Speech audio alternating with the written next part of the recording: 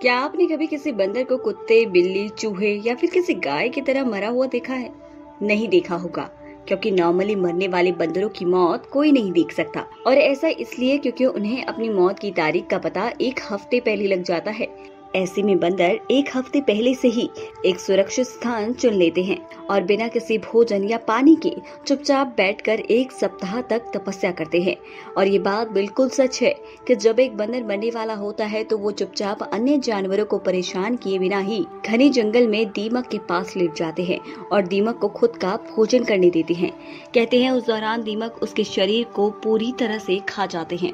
यही नहीं, अगर कोई बंदर गंभीर रूप से घायल हो जाता है और सड़क पर ही मर जाता है तो उसके शरीर को रिश्तेदार घसीट कर दीमक के पास उसका भोजन बनने के लिए तब तक छोड़ देते हैं, जब तक कि उसका शरीर गायब ना हो जाए।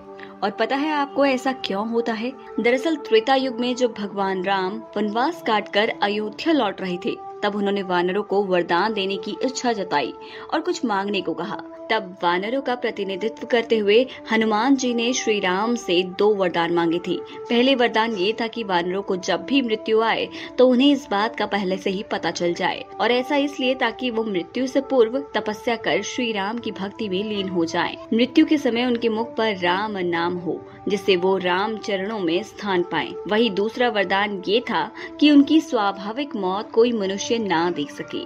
श्री राम ने खुशी खुशी हनुमान जी समेत सभी वानरों को ये वरदान दिया था। तब से लेकर आज तक कोई भी मनुष्य वानरों की नेचुरल डेथ नहीं देख पाता है।